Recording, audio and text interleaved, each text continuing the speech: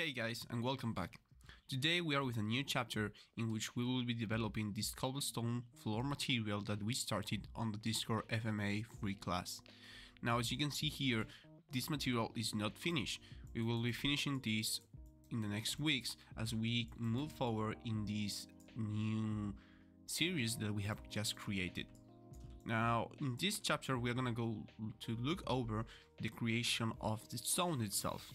Later, we will break up how we create the concrete that is holding these stones, and finally, the base color and roughness. Eventually, we will also create an extra chapter where we will be going over the reference we gather and how did we learn from the reference what to do in the details. So let's jump to it. So first, we need to go over how to create our stones. So I'm going to change this to a plane first, so you can all see this better. Yes, so we can see the stone pattern right here and all the details they have.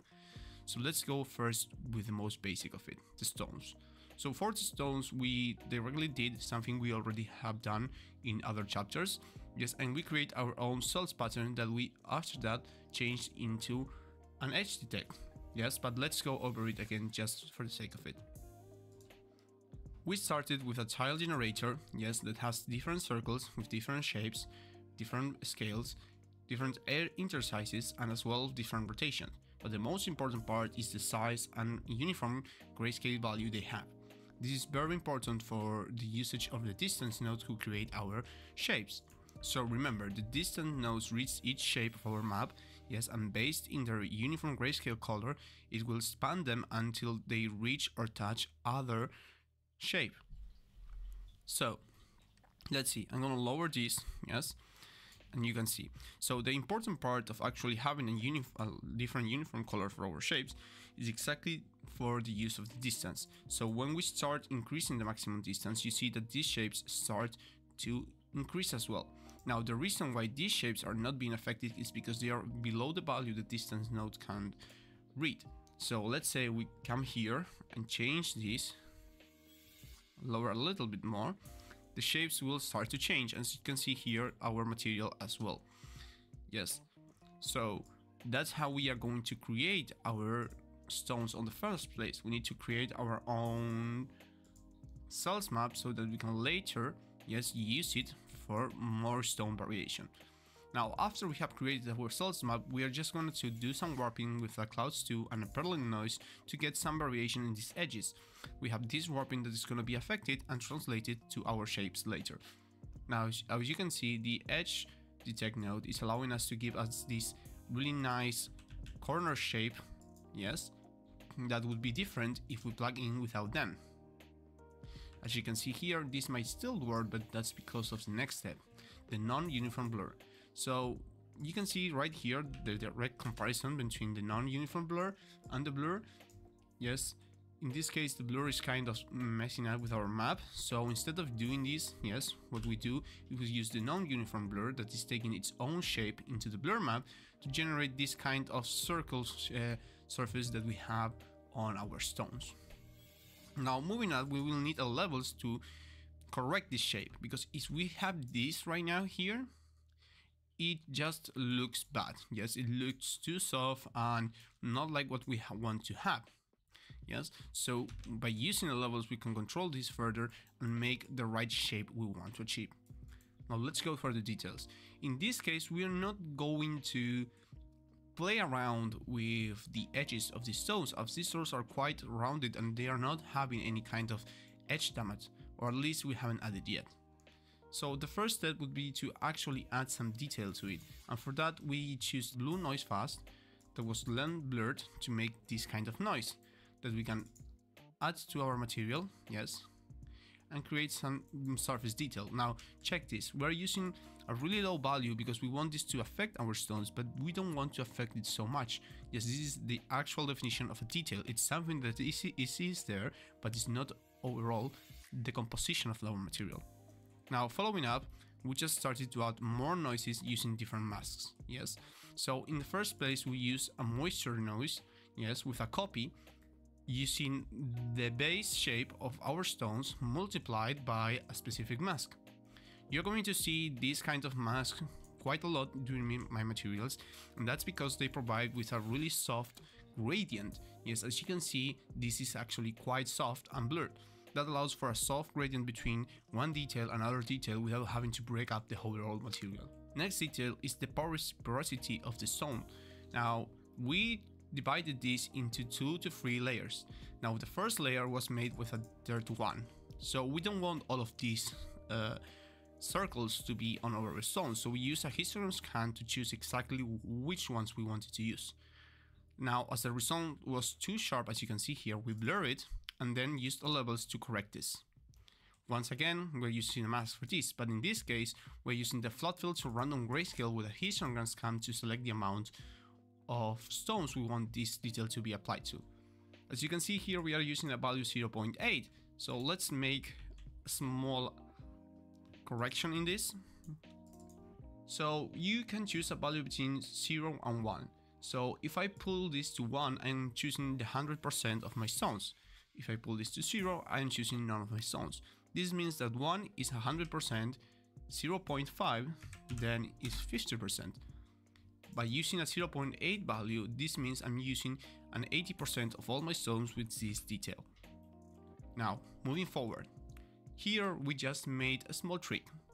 So we use the black and white spots too as we have used it in other tutorials. We use the high pass grayscale to remove the background, yes, and leave less contrast so then with the levels we can pull this up and form these circles you can see here.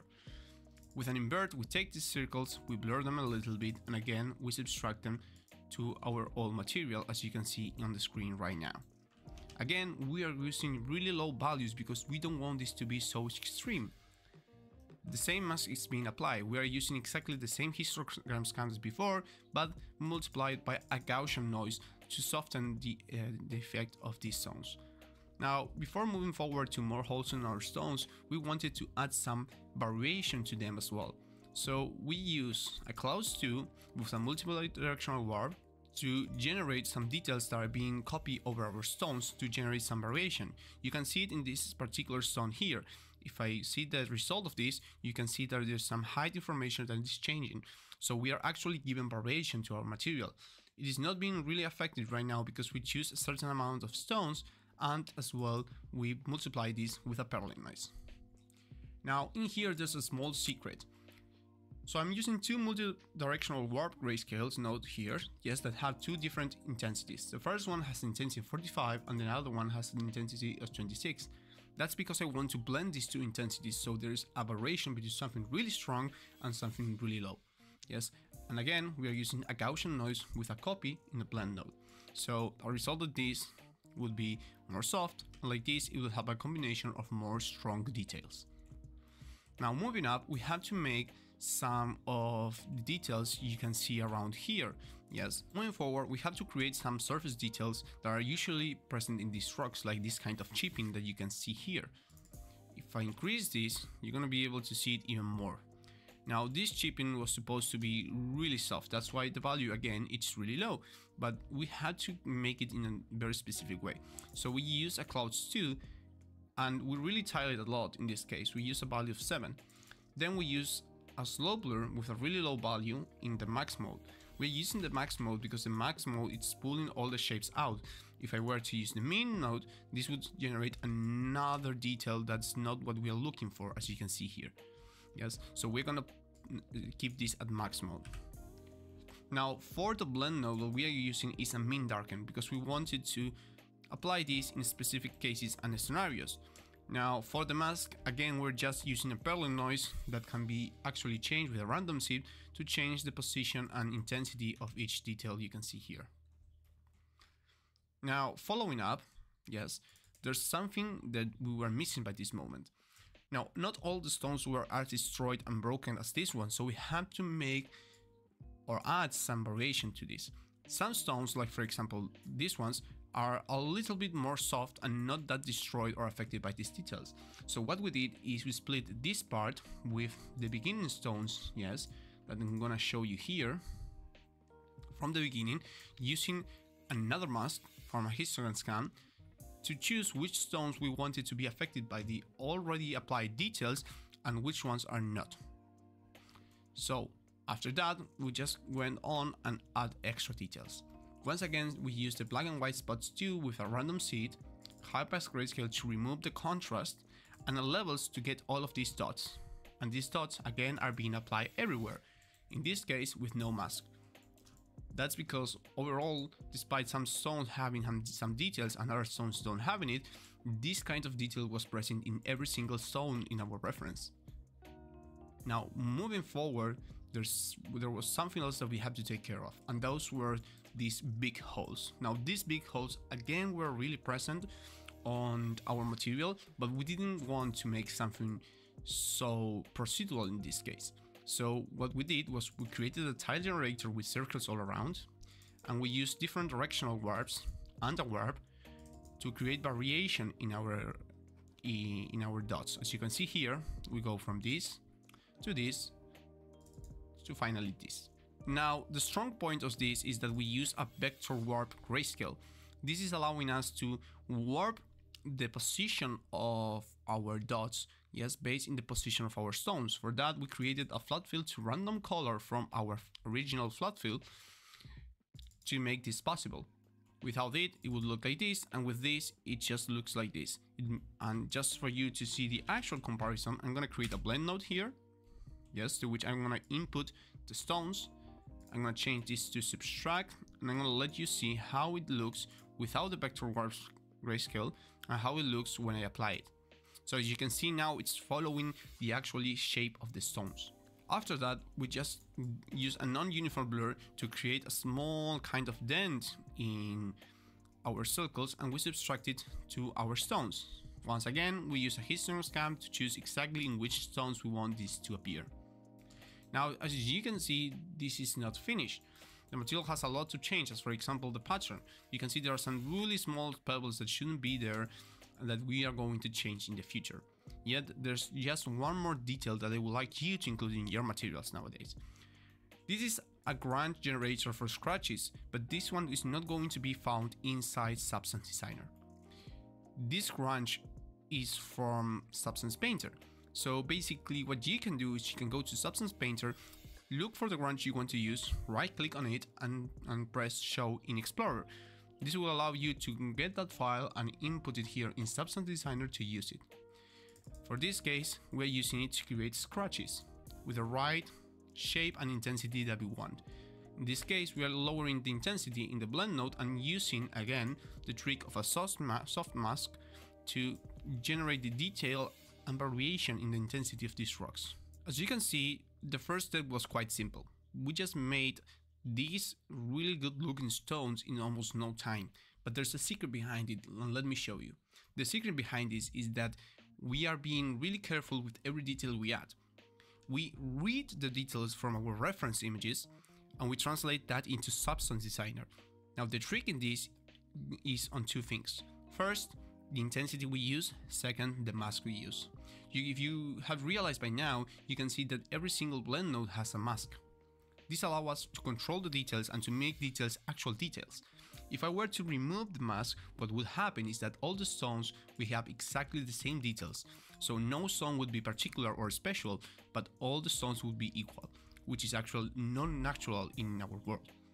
So in order to do that, we have to mask our blend nodes to generate new details, as you can see here, that we are moving forward. And in fact, if you want to see an end result of this to help yourselves, you can just create a normal map, my bad, created in the wrong place, and see how is that affecting your actual height map, as you can see here.